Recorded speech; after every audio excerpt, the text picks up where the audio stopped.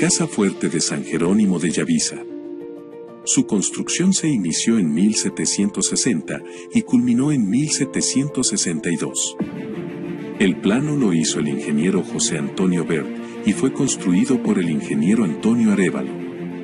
Consiste en un gran rectángulo, conformado por dos torreones, construido en mampostería y madera. Contaba con 22 pedreros y un cañón de A3 formaba parte de un sistema de fortalezas construido por el Imperio Español para proteger el oro extraído de las minas de Cana y otros sitios que era transportado en fragatas españolas hacia la ciudad de Panamá. Piratas ingleses y franceses, con la ayuda de negros y marrones e indios cunas, asediaban los emplazamientos y navíos españoles. La casa fuerte de San Jerónimo estaba estratégicamente ubicada en las rutas de navegación. Establecida en Yavisa, la capital de Darién, la Casa Fuerte sirvió de residencia al gobernador de Darién y a 50 hombres de guarnición.